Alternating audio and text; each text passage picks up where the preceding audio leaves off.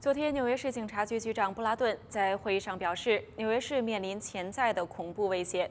布拉顿表示，上周五巴黎发生恐怖袭击之后，纽约市立即提升安全警戒水平。巴黎恐袭发生的第二天，五百六十名经过训练的反恐人员全部都部署到纽约市区各个地方。此外，一百名反恐专员也处于随时待命状态，如果情况需要，可以随时上岗执勤。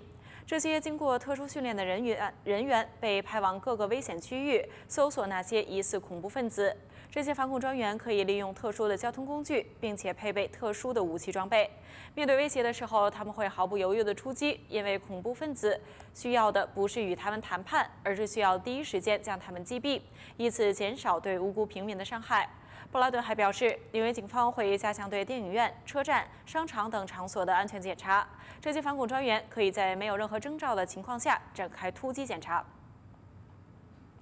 警方目前正在调查一起枪击事件，一名女子在路边等待男朋友的时候遭到枪击，所幸子弹只是从她的小腿旁边擦过，并无大碍。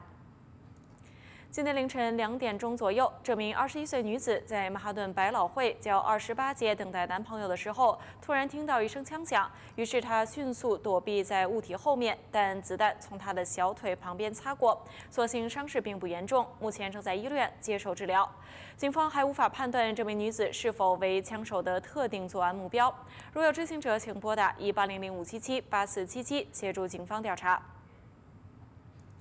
今天清晨，皇后区一栋建筑物发生火灾，造成一人重伤，一人情况危殆。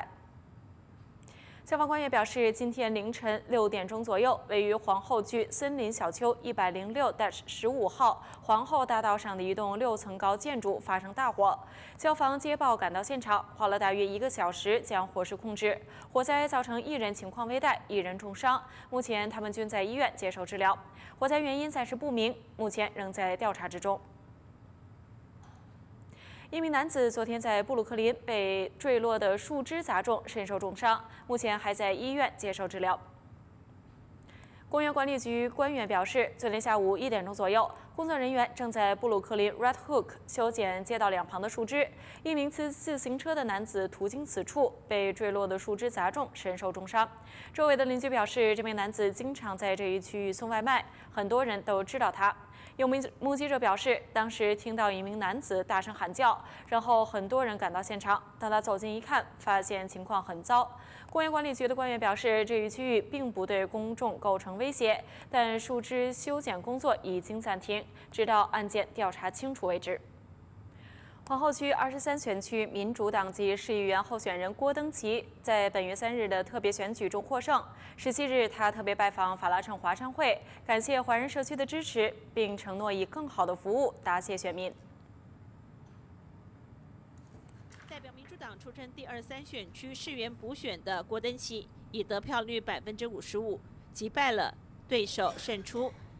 十七号带着愉快的笑容来到了法拉盛华商会，向华人社区谢票，受到华商会理事长徐朱留地、总干事杜彼德等众多理事成员的热烈欢迎。郭登奇感谢支持他的华人选民和竞选团队，让他顺利当选，并强调二三选区是一个多元文化足以的选区，未来的工作重点是争取社区资源，提升居民的生活居住安全及教育水准。I was uh, invited back today um, by the leadership of the FCBA to come back and say hello and talk about some of the plans that we have uh, as a council member elect. And um, as we said all summer long, our top two priorities are the education of our children and the safety of our streets. And uh, that's what keeps community together. 针对近来有企业集团有意在法拉盛草原可乐纳公园举办大型演唱会并收费仪式， 遭到区长凯兹的反对。郭登奇表示支持区长的想法，认为公园是属于皇后区居民的共同生活空间，不能因为增进经济效益而牺牲民众享有公园设施的权益。他将在上任之后让公园得到更好的维护，帮助提升及改善皇后区的公共资源。华语电视记者杨振天纽约采访报道。台湾著名表演团体悠人神谷曾经两度在纽约成功演出，并将在本月的十九日起一连三天以时间之外的剧码，在纽约布鲁克林音乐学院第三度登上下一波艺术节的舞台。处长张文良大使及台北文化中心主任尤淑静等人，十七号在经文处欢迎到访的台湾著名表演团体悠人神鼓到纽约的演出。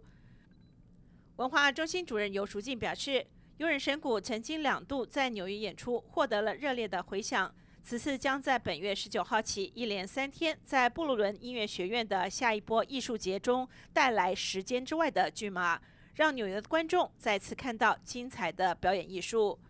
悠人神鼓创办人及艺术总监刘若雨介绍，时间之外是结合了武术、击鼓、神圣舞蹈等元素，并运用镜面地板和投影的技术，打破悠人传统击鼓的形式。深入禅意，也呈现了时间、声响与极境之美。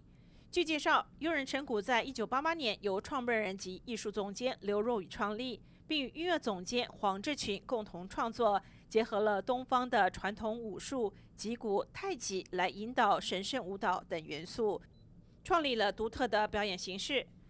纽约地区的演出详情可以上布鲁克林音乐学院的网站 b a m 点 o r g 查询。华语电视记者杨振天纽约采访报道。